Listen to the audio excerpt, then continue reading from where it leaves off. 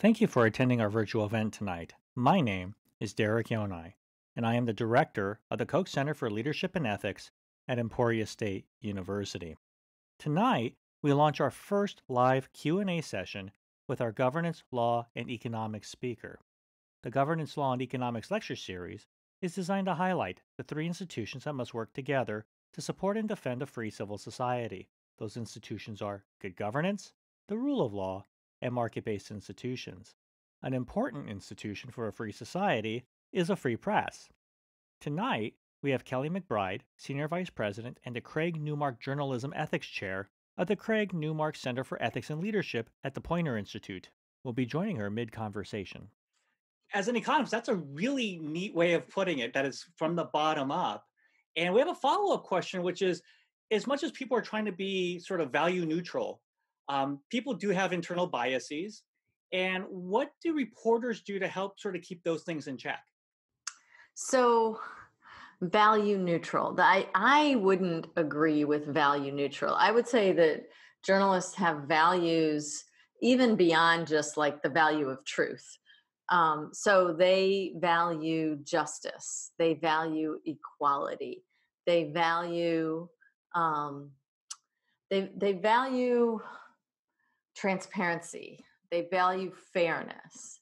Um, and and you're right journalists do have biases. I i literally just today published a um, column for national public radio which is the third job that i have is as the public editor of national public radio. And i looked at these cases that happened within the last week. One was president trump was quoted was interviewed in a press conference about the shooting in kenosha and President Trump said um, it looks like it was self defense. And NPR inserted President Trump said, comma, without evidence. It looks like it was self defense. Um, now there's an argument to be said that there is evidence, but the but the point is is that they decided that the president at that point needed to be sort of fact checked, right? And and so they put a qualifier in literally in the same news cycle, they published um, another team at NPR, the Code Switch team, which is a team that deals with race and racism and um, issues of, of how we get along as, as a society. They, they did a Q&A with an author who wrote a book called In Defense of Looting. They interviewed her on a lot of things. She said, some crazy things that could easily be fact checked, and they did not fact check her. So if you look at those two things, you can you can assume a bias there, right? They fact checked the president, they didn't fact check this liberal author. But then, complicating that, in, in my column, I describe all this. There's this third case where they're doing these interviews with voters. They went across the Southwest, David Greene, did a bunch of interviews, and many of the voters in the Southwest, in Arizona and New Mexico, that they interviewed um, said things that were also equally suspect, right? That were that that you could bring a bunch of statistics or videos and show them and just say, look, you are just flat out wrong on this. Um, they didn't fact check those people either. Now, what I said in the column basically is that that insertion for the president was inappropriate. They should have definitely fact checked the author, but they were good to mildly push back on these audience members rather than do a full on fact check because the journalistic purpose of what they were doing was not to demonstrate that voters don't know what they're talking about when they make their decisions. The journalistic purpose was to um, was to to help me as a listener see inside the minds of somebody that I might not have a conversation with. So that was, I think, that sort of complicated things and it and it screwed up my presumption of bias, right? Because they didn't, you know, so it's not as neat and, and easy as yes, this organization is biased in this direction and that organization is biased in that direction. It's complicated. Um, the the safety net is the system, right? So when we talk about objectivity in journalism, we are not talking about objectivity of the individual journalist or even the organization. We are talking about objectivity of process. And in all three of those cases, it was a failure of process that left the listener with not quite enough information to know what the real truth was and the process is is editing and um, and and copy editing and um, and and then also checking your own biases and trying to look at a piece with fresh eyes. So that actually raises a sort of a separate question i have in terms of how has the information age changed the ethics in journalism of maintaining that objectivity? Because it seems like the news cycle is a lot faster. So I'm, I'm probably really naive about this. I'm imagining like a reporter sitting there pounding away on an old school typewriter and then somebody's got to read copy and then it's got to get laid out. So you have time built in where you can fact check and you can check your sources but now it seems like you can just pound it away on your ipad and hit send and it's out for the world to consume instantly how has how has that changed things well so uh, in, in two very specific ways one for the better one for the worse what you said is true. We are faster and we're also thinner in our news organizations. Um, I so I've been in journalism for for 30 plus years. I never wrote on a typewriter. So Derek, I think you're you're imagining because I'm pretty sure you're younger than me.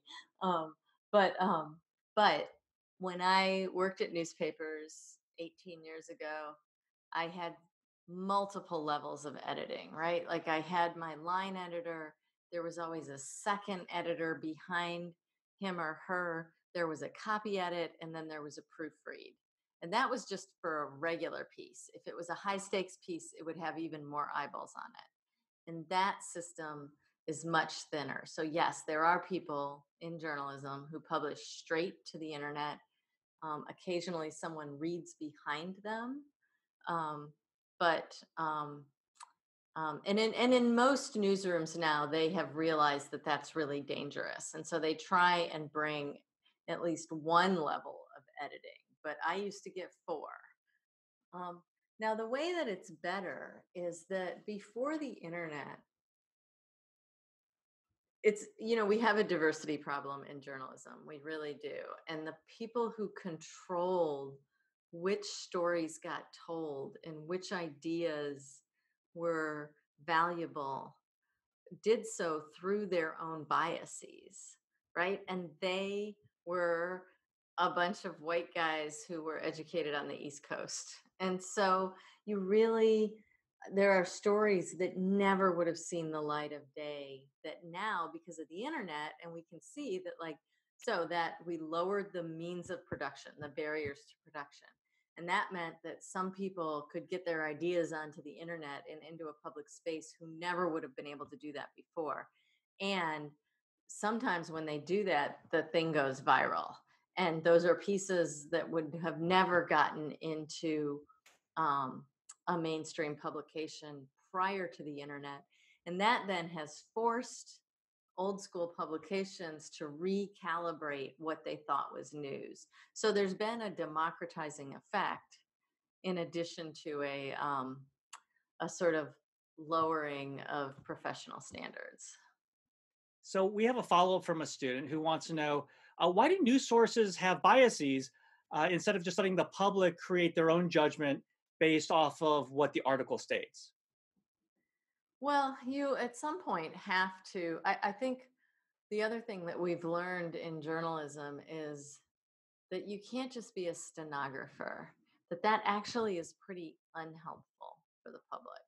Um, because if you just say, well, this person said this, and this person said this, and this person said this, at a certain point, as a reader or as a consumer, there's so much information that you're going to gravitate toward the people who tell you, well, here's what it really means, or here's what the real truth is. Because who's got time to do all of that research?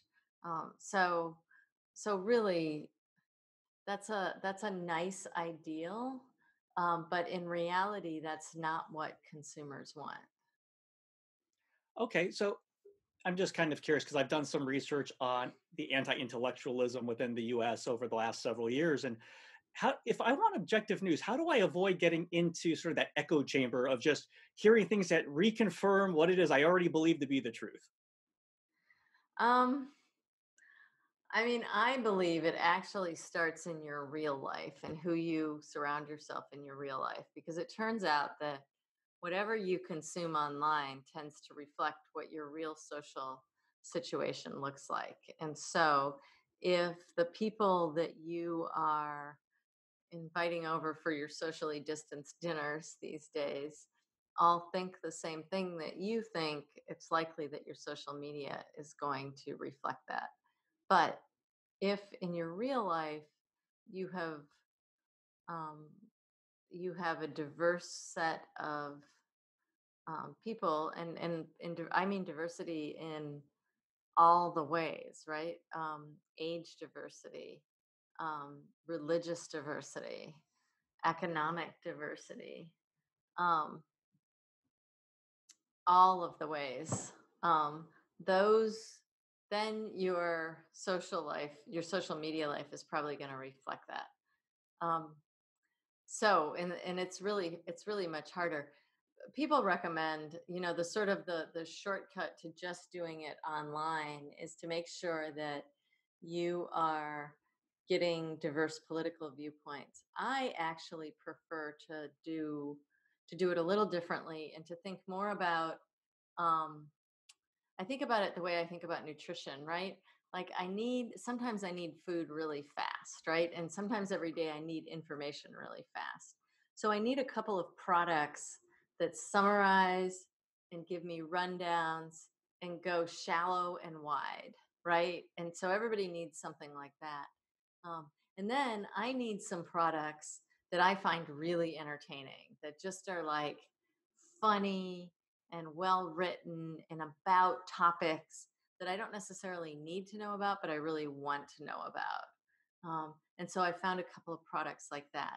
And then I also need some products that can um, can challenge my sensibilities, right? And so um, I'm I subscribe to like a couple of business products because that's not really like my thing. So, um, and I find that if I get the ones that are really well written, that that I can digest them and I can learn something about a part of the world that is very different from where I live, working in a nonprofit um, outside of New York City. So, so I actually think that you're probably going to be more successful rather than just thinking about a diversity of political viewpoints.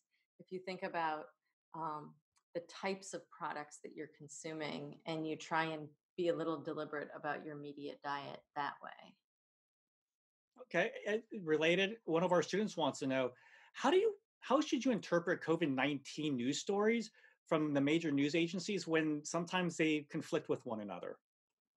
So, first of all, you should figure out what you need to know about COVID 19 and then go look for that information. And I will tell you that if you are not living in a major metropolitan area, then you probably are not getting the news that you need. I am not getting the news that I need around COVID 19, right? So, what do I need to know? I want to know what is the hospital capacity in my county? right? Not in my state. I want to know in my county, how is it? And how is that different from last week? I want a running count. I want a weekly number of how many hospital beds are available. Um, because if I see that number getting smaller and smaller, then I know that there's reason to, to be concerned. And I think that um, local news has done a fairly abysmal job on COVID 19. I also want to know like some of the standard numbers that you're seeing, but I want them presented to me in the same way every day, right? Like I want a dashboard that shows me in my county, right? So I live in a media market that has like eight counties in it. I don't want to know the whole media market. I want to know in my county um, what's the what's the positivity rate, what's the infection rate per 100,000 people, not just the raw infection rate. Um, how many deaths? That's interesting, but um, it's actually not a helpful number. It doesn't help you make decisions. Um, and then I want to hear from public officials. And um, I, you know, I think that um, most news organ, local news organizations have done a done a bad job because they either don't have the the programming bandwidth, right? Like the design capabilities and the computer capabilities to repeatedly bring these numbers in and present them in a um, understandable way, or they don't have the leadership. So another student follows up with the question of, you know, COVID 19 is a very big topic. And how hard is it for journalists to accurately report on something that seems to be uh, changing daily with new information coming out? Uh, how hard has that made it for journalists to accurately report what's going on? You know, so the the challenge is for news organizations, right? So I would say um, National Public Radio has done really well on COVID nineteen. Why is that? Well, what are their strengths? Health reporting, economic reporting, science reporting, um, arts and entertainment reporting, government reporting, right? So they have those five strengths, and you have to tell that story on those on that level. Um, it's not an indiv- as an individual journalist you can't possibly tell the whole story of covid-19 that's crazy. You have to pick what is the narrow part of this story that you're going to look at and how are you going to get really really smart expert treat it like a beat that you're actually going to cover just that narrow swath of it as an individual journalist because if you're trying to to sweep wide you're right it's way too big you'll never get it now when it comes and that's in the when when you talk about changing information that's why you need to go narrow and deep right? If you are a health reporter, you have to understand the science. You have to understand immunology. You have to understand how science actually advances on this topic. And um, it's crazy to think that you could just step in on day one and cover the story well. Um, you really do need um, you need to develop expertise because you need to be able to make those judgments, right? You can't just be a stenographer and say, here's what this person says, here's what that person says. So this is a classic example of why that won't work. We have some people who are saying things that we know are wrong. Um, we have some people saying things that can be demonstrated to be right, but they're not popular. And so we don't report them. So it's really um, it really is a great example of why you need to make judgments as a journalist about what the truth really is and then tell your audience here's what the truth is and here's why this is the truth so if we're talking about the local media and how um, as you said they kind of let us down a little bit you know i have a question because when i was in uh, florida our local newspaper was bought by a large chain and one of the first things they did to save money was they cut the news staff. And reporters were calling me and they were telling me that, you know, I'm, they may not be my contact anymore because they may not have a job. Um, how does how does that affect the quality of local journalism? And if you're a local outlet, what can you do to still do a good job in spite of the fact that maybe the marketing department's getting an inflow of cash, but not the newsroom? Well, I mean, the economy that supports local journalism has been decimated. Um, we don't have a good economic model for local journalism right now. We have a couple of bright spots that are startup digital publications that are nonprofit or um, some of them are for profit, but they have alternative revenue sur- sources like events. Um, but if you're talking about the local newspaper, um, that's a really dark, bleak picture right now. It's I don't see it getting better anytime soon. And so what you describe, right? The chains were the first, but but in the last 10 years, it's been every newspaper. The money just isn't there. So you it's almost crazy to think that local newspapers as a printed product are going to survive another 20 years because I don't think they will. Um, the television market um, is looking at a similar cliff as more and more people cut the cord because most of the time, if you're watching local television, you're doing it through a local cable provider. And so once everybody cuts the cord, I mean, I cut the cord a long time ago, and I can tell you that that's the thing that I find the hardest to to watch is um, local television. And and I don't think anybody knows the answer to what's going to happen to the local television market. So so then you have these alternative products or public media, and none of them have the strength or the bandwidth that local newspapers did in their heyday 20 years ago. And um, I and and and let me tell you why I really worry about this. Um, so there's a lot of studies that show that when consumers trust the media, it's because they trust their local media.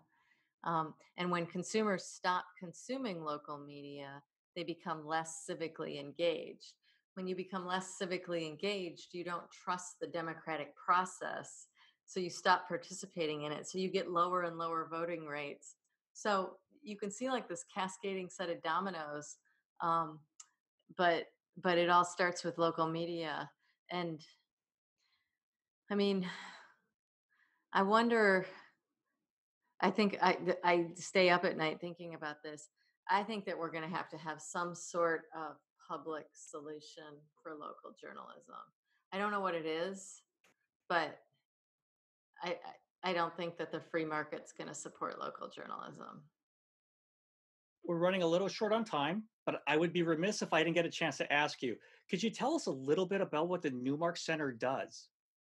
Yeah. So what we do is um, we try and that whole like ethics come from the ground up. We try and intervene in that process and encourage news organizations to do the right thing and to serve their audience.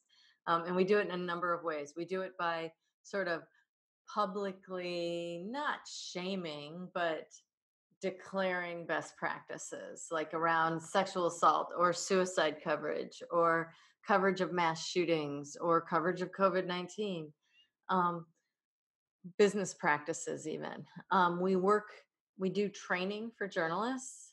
Um, and so we help individual journalists learn how to become better ethical decision makers. And then the most influential thing we do is we work directly with news organizations. We help them write their policies. We help them enforce their policies as consultants. We um, train their journalists, and we um, we walk alongside them and help them make decisions when they have really complicated, um, gnarly stories that they're working through. Cool. In the amount of time we have left, what is the one takeaway you would love our audience to walk away with tonight? Um, as a news consumer, you have a massive amount of responsibility here. Um, you have to um, own your own news consumption and your own participation in the marketplace of ideas. Um, and you have to own your um, what you share, what you propagate, whether it's sending articles to your friends and neighbors or whether it's just posting things randomly on Facebook. Um, if you don't it used to be that we asked editors to sort the news for you and hand you sort of a full package wrapped up with a bow. Here's what you need to know. That doesn't exist anymore. You are now the editor. And if you don't take responsibility for that, and I know a lot of super educated people who literally do not consume news responsibly at all, they're horrible. Um, if you don't take responsibility for that, then you're part of the problem. Perfect. Kelly, thank you for joining us tonight. We really appreciate your time. And thank you everybody out there for joining our first virtual Q&A session with one of our GLE speakers. Before we call it a night, I have two quick announcements.